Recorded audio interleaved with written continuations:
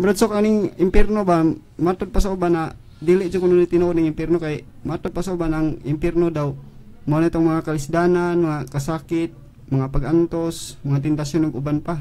Ang akong pangutana karon Bradsok, unsa man ni impierno Bradsok kaning tinuod na kahulugan ni impierno?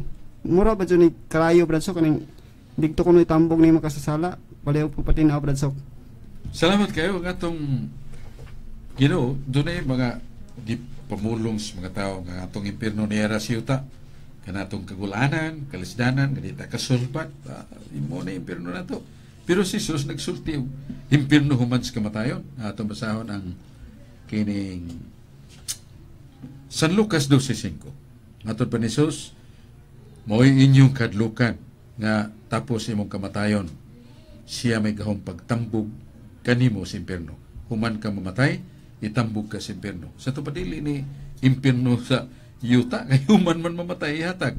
Lucas 12, versikulo 5. Niya na sa kapitulo 20, versikulo 10, sa gipadayag, kadtong mga dautan, mga bakakong manalagna, gitambog sa impierno, kalayo ngantuson hangtod sa kanturan. O dili sa na impierno sa yuta.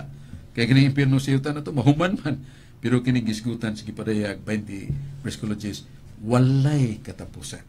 O sa impierno ni nga wa sa yuta tuwa ni sila yung kinabuhi.